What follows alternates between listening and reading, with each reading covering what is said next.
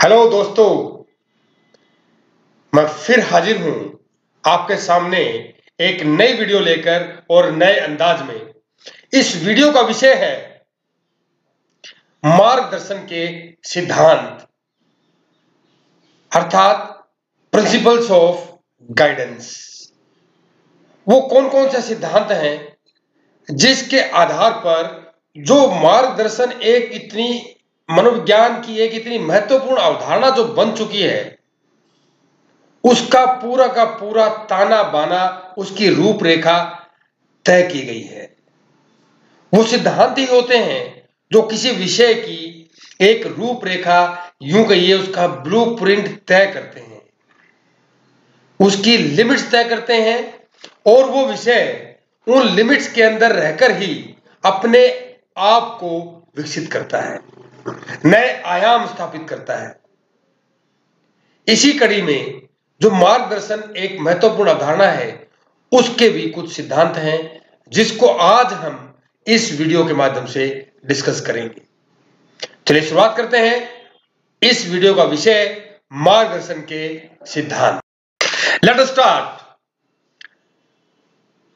आज का जो टॉपिक है, वो है मार्गदर्शन के सिद्धांत। शुरुआत करते हैं। जैसे मैंने पहले बताया है, हमने कई बार चर्चा की है। जो मार्गदर्शन है, वो एक महत्वपूर्ण विषय बन गया है अप्लाइड साइकोलॉजी का। हर कदम पर हर व्यक्ति को, किसी भी उम्र का व्यक्ति है, उसको मार्गदर्शन की आवश्यकता पड़ती है। जब हम इसके सिद्धांतों की जब बात करेंगे तो यह स्वाभाविक है कि हम इसके परिचय की भी बात करेंगे। शुरुआत करते हैं परिचय से। सिद्धांत एक मौलिक सत्य या प्रस्ताव होते हैं। ये ध्यान रखिए, ये कहते हैं कि मौलिक सत्य, जो विश्वास या व्यवहार की एक प्रणाली या तर्क की श्रृंखला के लिए आधार के रूप में कार्य करते हैं। यानी कि अगर आप कोई भी तर्क देते हैं या कोई विश्वास अगर आपका है किसी चीज़ में या आप किसी प्रकार का व्यवहार करते हैं तो वो सारी चीज़ें अगर हम ध्यान से देखेंगे, उसके गहराई में जाएँगे तो किसी न किसी सिद्धांत पर आधारित होती हैं। असल में सिद्धांत होते क्या हैं? किसी भी विषय की एक दार्शनिक रूपरेखा तय करते हैं। उसकी एक लिमिट तय करते हैं कि वो विषय कितनी दूर तक जा सकता है और वो कहाँ तक वो उसका विजन होगा, क्या वो देख सकता है और विषय के अनुसंधान के जो टॉपिक्स हैं वो कौन कौन से रहेंगे। इत्यादि इत्यादि। जिसके भीतर रहकर ही उस विषय से संबंधित जितने भी कार्यक्रम हैं, वो तय किए जाते हैं, आयोजित किए जाते हैं। और उसका परिणाम क्या होता है? उसका परिणाम यह होता है कि वो विषय अपने आप को विकसित करता है। दोस्तों, ये बहुत बड़ी कोई फिलोसफिकल बात नहीं है। ये एक छोटा सा परिचय था कि सिद्धांत होते क्या है। कुछ नहीं है, अगर आप ध्यान देंगे, देखिए, जैसा आप कह रहे हैं कि जो सिद्धांत है, वो एक ब्लूप्रिंट होते हैं। जिस प्रकार से एक व्यक्ति जब जन्म लेता है तो जन्म से पहले जब कंसेप्शन होता है गर्भ धारण होता है तो जो जीन होती हैं, वो एक ब्लूप्रिंट तैयार करती हैं। उसी प्रकार से कोई भी सिद्धांत, कोई भी विषय बिना सिद्धांत के अधूरा होता है। उस विषय की लिमिट्स क्या होंगी, उसकी परिसीमाएँ क्या होंगी, ये जो तय किया जाएगा, ये उसके कुछ सिद्धांतों के आधार पर तय किया जाता है। और वही सिद्धांत उस विषय को आगे बढ़ाने में अपना योगदान देते हैं। होलिस और होलिस ने सुझाया कि मार्गदर्शन है, वो लगभग आठ सिद्धांतों पर आधारित होता है।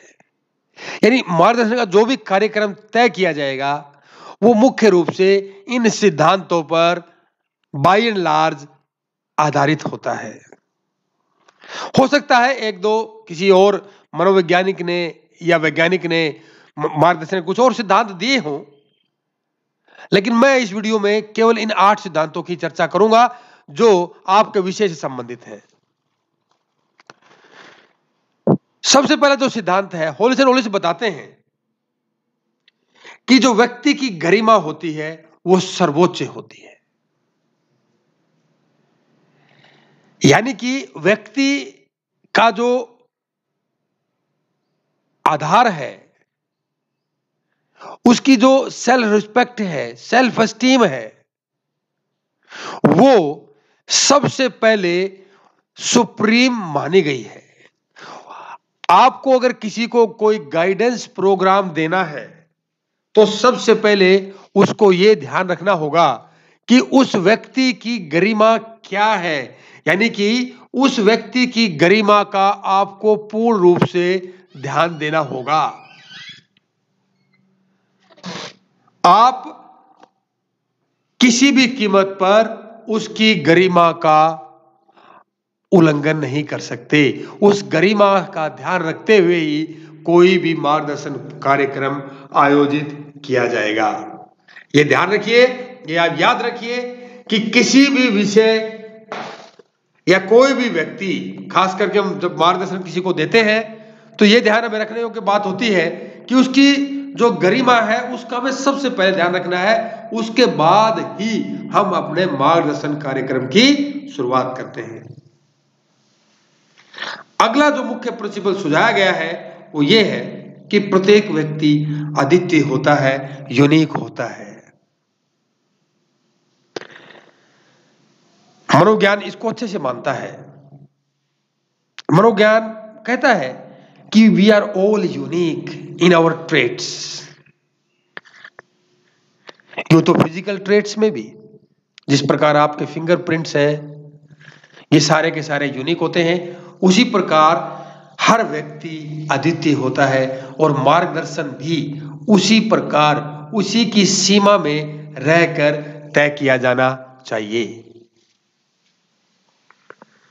अगला सिद्धांत है, मार्गदर्शन की जो मुख्य दिलचस्पी होती है, वो होती है व्यक्ति और उसका सामाजिक माहौल।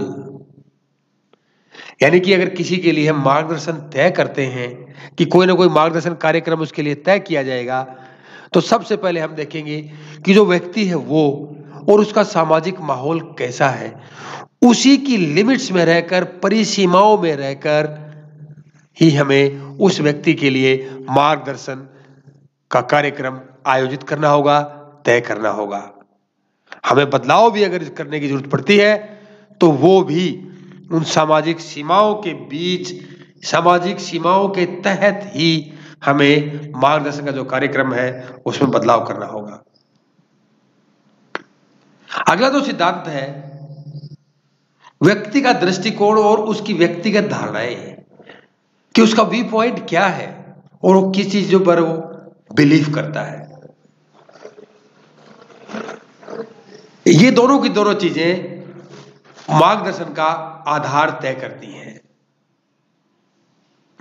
क्योंकि जो व्यक्ति कार्य करता है, वो अपने दृष्टिकोण और व्यक्तिगत धारणाओं के आधार पर ही कार्य करता है। उनसे बाहर जाकर वो कार्य नहीं करता है, कोई एक्टिविटी वो नहीं करता है। तो इसीलिए ये भी एक इंपॉर्टेंट पॉइंट होता है कि उसका दृष्टिकोण क्या है, यानी उसका व्यू पॉइंट क्या है और उसकी बिलीफ क्या है।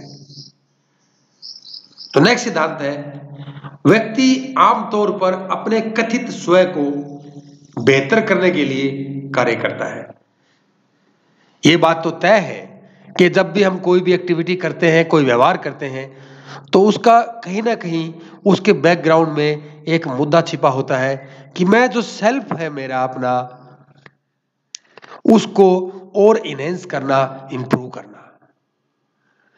जब कोई व्यक्ति अपने सेल्फ के इंप्रूवमेंट के लिए काम करता है तो मार्गदर्शन देते वक्त गाइडेंस देते वक्त इस चीज़ पर पूर्ण रूप से हमें फोकस करना चाहिए और फोकस करना ही होगा कि उसके स्वयं को भी हमें अपने दृष्टिकोण में लेना होगा, तभी हम किसी के लिए मार्गदर्शन का कार्यक्रम तय कर सकते हैं।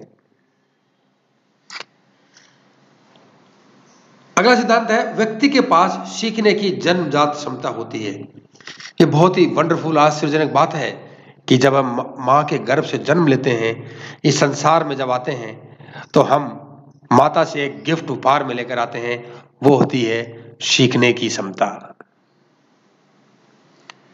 हम सीखने की क्षमता के साथ तो आ जाते हैं, लेकिन जब हमारे सामने इस दुनिया के अंदर बहुत सारे विकल्प होते हैं, उन विकल्पों को चुनने में हमें एक मार्गदर्शक की आवश्यकता पड़ती है।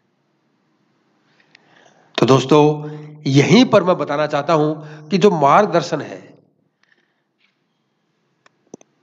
देते वक्त, यानी किसी को गाइडेंस का प्रोग्राम देते वक्त ये ध्यान में रखना होगा कि उसके अंदर सीखने की क्षमता है और उसको जो विकल्प है, उसके चुनने में हमें मदद करनी होगी।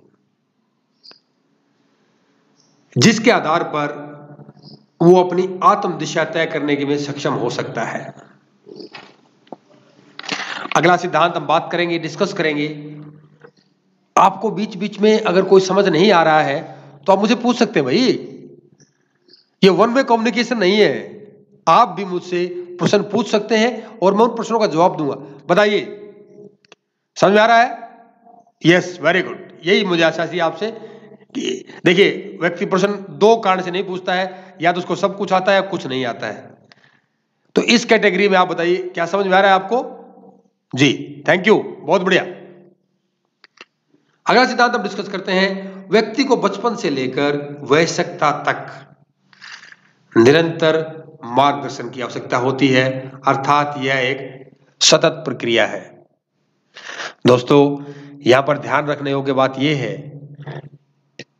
कि जन्म से लेकर पंच तत्वों में विलीन होने तक हर कदम पर हमें मार्गदर्शन की आवश्यकता पड़ती है। चाहे वो मार्गदर्शन हम स्वयं अपने आप को देते हों या किसी एक्सपोर्ट से गाइडेंस हम लेते हों। मार्गदर्शन की आवश्यकता तो जीवन के हर कदम पर पड़ती है, क्योंकि ज़िंदगी हर कदम पर चुनौतियाँ आपको प्रदान करती है।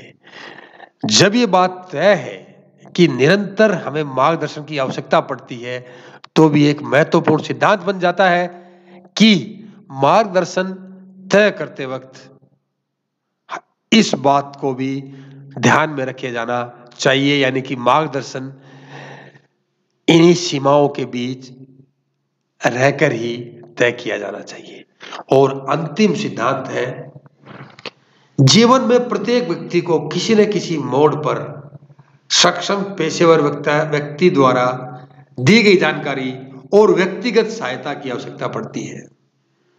ये मैं डिस्कस आपके साथ कर चुका हूँ और थोड़ा सा इसको हम डिटेल में बात करते हैं। कि जो हर मोड़ आता है जीवन का, कहीं ना कहीं हर व्यक्ति को किसी न किसी एक्सपर्ट गाइडेंस की आवश्यकता पड़ती है। क्योंकि इस जीवन में गुणवत्ता बनाए रखने के लिए, वातावरण के साथ, तालमेल बनाए रखने के लिए, समाज के साथ तालमेल बनाए रखने के लिए हमें हर जगह एक्सपर्ट गाइडेंस की आवश्यकता पड़ती है। क्योंकि हम संपूर्ण नहीं हो सकते। जब यह धारणा आपकी है कि हम संपूर्ण नहीं हो सकते और हमें गाइडेंस की आवश्यकता पड़ती है तो गाइडेंस का प्रोग्राम तय करते वक्त इस चीज़ की बहुत ही ज़्यादा ज़रूरत है कि इस सिद्धांत को ध्यान में रखना बहुत ज़रूरी है। इवन जो पेशेवर व्यक्ति है, जो एक्सपर्ट गाइड है, उसको भी किसी न किसी मोड पर गाइडेंस की आवश्यकता ज़रूर पड़ती है।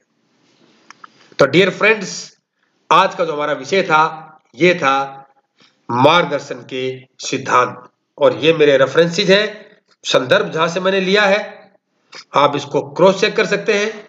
और जो अगले वीडियो जो हमारा होगा, वो होगा मार्गदर्शन के प्रकार, यानी टाइप्स ऑफ़ गाइडेंस तब तक के लिए आप इंतज़ार कीजिए मेरे नए वीडियो का एक नए अंदाज में। इस वीडियो में अगर आपको कोई कमी दिखाई देती है तो आप मेरी ईमेल है Verma Sujit at the rate of Yahoo dot com पर आप मुझे भेज सकते हैं। मेरे कमेंट बॉक्स में भी आप लिख सकते हैं।